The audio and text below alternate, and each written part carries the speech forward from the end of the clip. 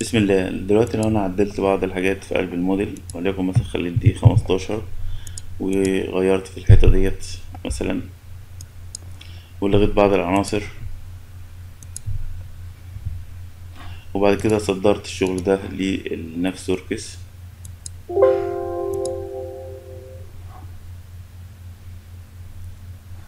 وأنا عامل حصر. فالتعديلات بقى اللي حصلت ديت Navisworks بينبهني خلي بالك إن في حد غير في الحصر. ويقول لي إيه العناصر اللي اتغيرت. دلوقتي هروح ل Navisworks هعمل refresh هيبدأ يعمل refresh كل الحاجات اللي هنا.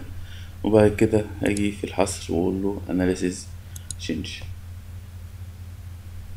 analysis change أي حاجة فيها تعديل هيبدأ ينبهني ليها.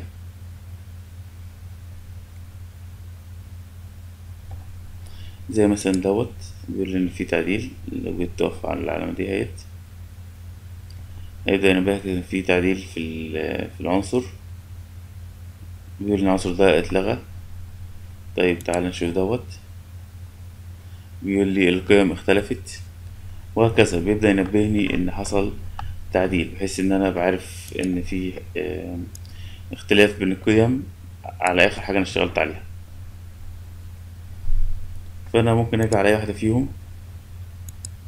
مثلا دوت وأبدأ أشوف الاختلافات القيم. مثلا الهاي هنا اختلف. فتيجي هنا وتقول له update from model فيبدأ ياخد الأرقام الجديدة من الموديل. خلاص كده يبقى أنا موافق على التعديل ده. فهمت التعديل وعدلته. لحد ما العلامة تمشي.